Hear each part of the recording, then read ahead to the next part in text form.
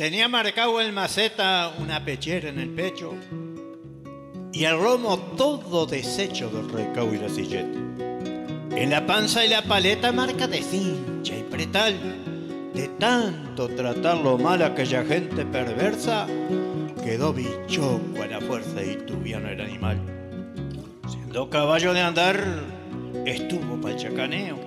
Y siempre que hubo un rodeo lo agarraron para el azar. Fue guapo para galopear, tragaba lengua sin fin.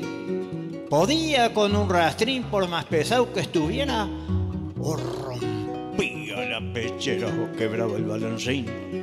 Ese vio más de una noche, para ir hasta una milonga, donde el plantón se prolonga entre las varas de un coche.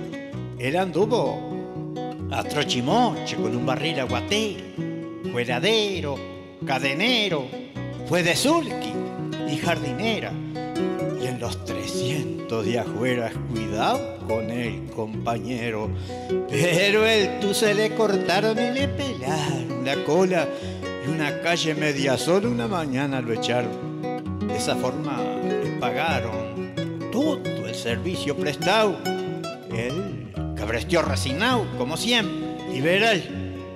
Le pelaron el bozal y allí quedó abandonado. Dejó el pasto que él comía pa' otro caballo mejor. Era el último favor que al dueño ingrato le hacía. Al tiempito no tenía más que los huesos y el cuero.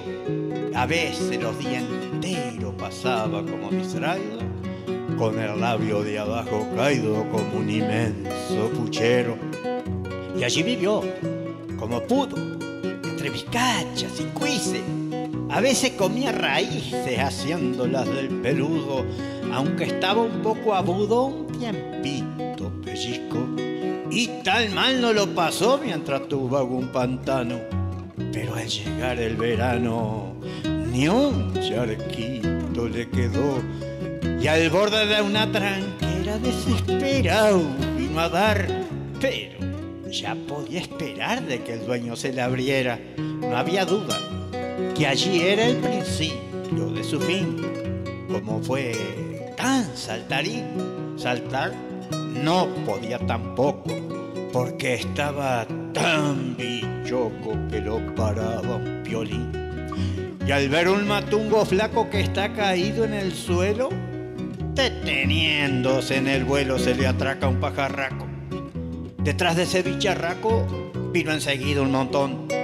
Y por equivocación, un chimango le reviente el ojo de un picotón. Levantó el cogote a gata. Cuando lo dejaron tuerto, todavía no estaba muerto y alcanzó a mover las patas. Hizo tiritar las mata con un resuello profundo. Y allí estaba el cuervo inmundo que le deseaba la muerte, y así podrá ser la suerte de que hace bien en el mundo. Aquel que llevara el carro con el mate para el aquel que nunca fue flojo ni para arao ni para el carro, aquel que pisara barro, quién sabe pa' cuánto rancho, muere rodeado de carancho, gaviotones y chimangos que deben de hacerlo miñango con los perros y los chanchos. Y allá en una de las orillas donde ya se entierra solo, suele sentarse un chingolo sobre sus blancas costillas. Y en una de las varillas donde nadie lo recuerde, ya los amentas se pierden, un trebolar en flor, que en todo su alrededor crece más alto y más verde.